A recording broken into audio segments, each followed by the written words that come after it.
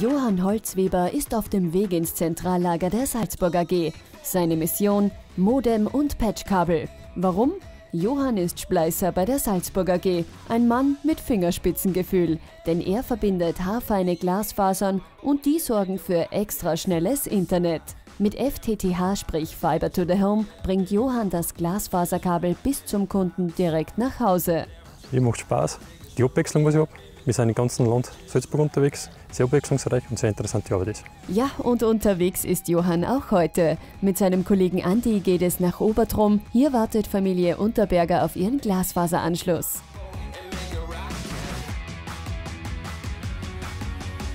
Im Verteilerschrank befinden sich zwei Kabel. Eines, das zum Kunden geht und eines, das vom Netz kommt. Das Kundenkabel besteht aus zwei Röhrchen und das Netzkabel aus acht Röhrchen, in denen die Glasfasern sind. Bevor die bunten Röhrchen aber sichtbar werden, muss Johann die Kabel erst mit einem Reißfaden abmanteln.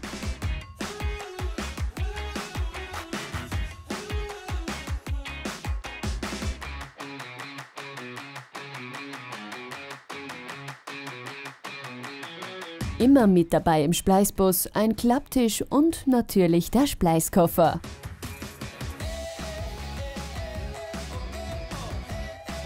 Dann legen wir es in Kassetten an, wo die Faserlänge drin ist, was wir zum Schleißen brauchen. Den Fasern ist eine Schutzschicht um, die was wir dann überziehen müssen.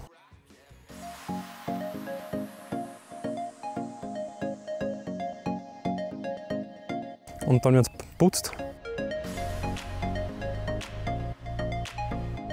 Und nach dem Putzen werden sie mit einem Diamantschneider gerade gebrochen.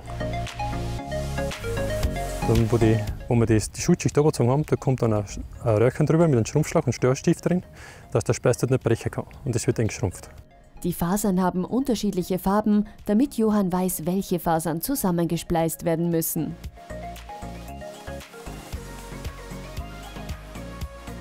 Dann haben wir eine der Kassette legen wir an die Faserlänge, wird dort wieder angelegt und ordentlich versorgt.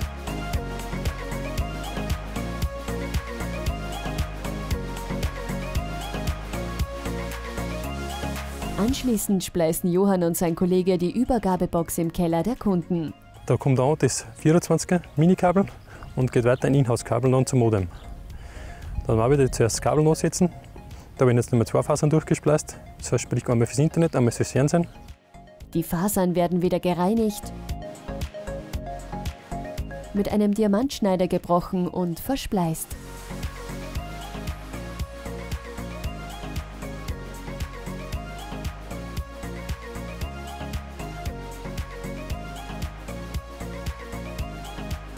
Und dann hinten werden die Fasern noch durchgemessen, ob die Strecke vom Kunden bis zum FTTH-Knoten passt. Wenn das Modem grünes Licht gibt, haben die Spleißer einen guten Job gemacht. Die Kunden können dann gleich ihre Geräte ausprobieren, Fernsehen und natürlich extra schnell im Internet surfen.